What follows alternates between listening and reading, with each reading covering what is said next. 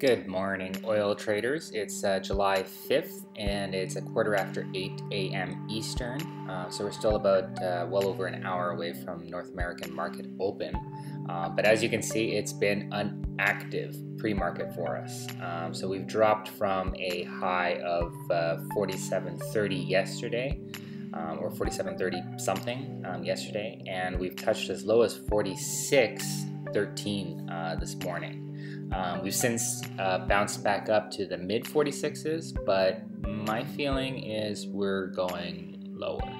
Um, and I'll elaborate on that in a second. Um, as you may recall, yesterday I bought um, short at 47.12. Um, of course, that position is looking nice and healthy today. Um, we shall see. of course, as I say that, it, it jumps up a few cents. Um, and uh, you can check out my complete portfolio over on uh, tradingjournal.ca where you can see the trades um, detailed out, the, the, daily charts, etc., etc. Um, you can also message me there if, with any questions or comments, etc. Um, so yeah, so we we've dropped, and my feeling is that I'm going to wait to sell the short position from yesterday.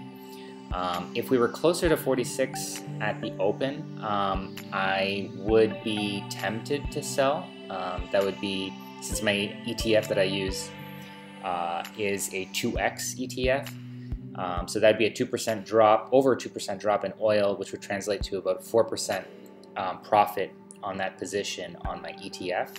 So at 4%, that's already pretty attractive. Um, but given that we've bounced up almost half of that, uh, I'm not in any rush to sell. Um, there's also the kind of the more bigger picture view, and if we zoom out, for example, uh, to the one day chart here, uh, so we can see these waves over the past three months, right? And you can see that um, coming into July, we've been heading down, uh, or end of June, we've been heading down and then you can see that we've climbed up rather rapidly um, to where we are now, or at least to where we were yesterday.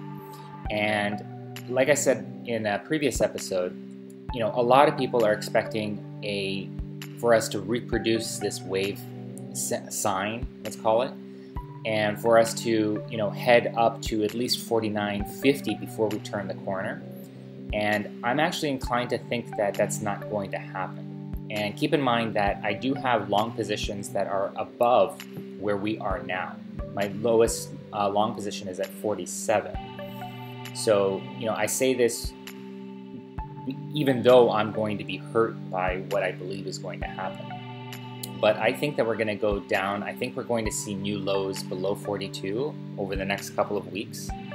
Um, and even beyond that, I think what we're going to see is a range bound situation sort of like what we saw early this year um, prior to March, where we were basically bound in the mid in the low 50s. We're going to be bound in the lower 40s um, for, I mean, who knows how long, but I would say a few months is very likely. Um, I don't think we're going to go. I don't think we're going to see you know crazy lows like 30. Um, although I would be extremely bullish at that point. I think a lot of you would as well.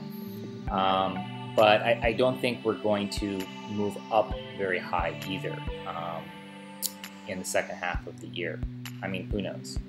But uh, that's kind of my feeling, and that's why I'm kind of preparing to play as if that's going to materialize. So basically, I'm going to be rather quick with buying longs again once we get into you know 45-ish, 44-ish area because I think we're just going to bounce around this area. So I'm just going to profit from these up and down movements as we as we kind of fluctuate in that range.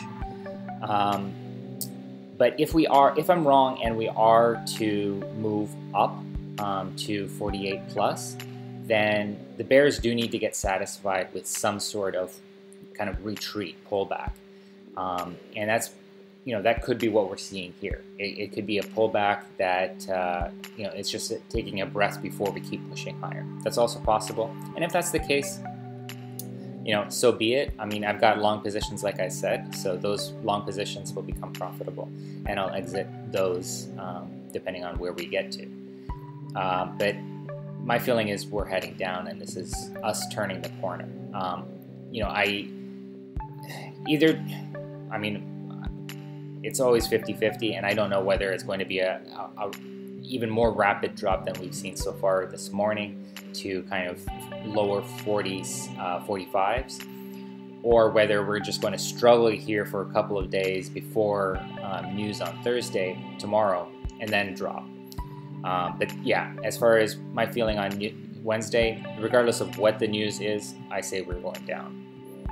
So I'm going to play my positions based on that. And if we are above 47 coming into Thursday, then I'm going to exit those long, um, at least one of my long positions um, for a small profit or even break even, um, betting on the fact that we're going to go down. So that's that's my play. That's my thinking. I'd love to hear what you guys are thinking and what you're uh, what you're executing as trades. Uh, so hit me up down below on YouTube or over on TradingJournal.ca. Uh, subscribe to stay tuned. Give us a thumbs up, and I'll check back with you guys at the end of trading. Good luck. Cheers.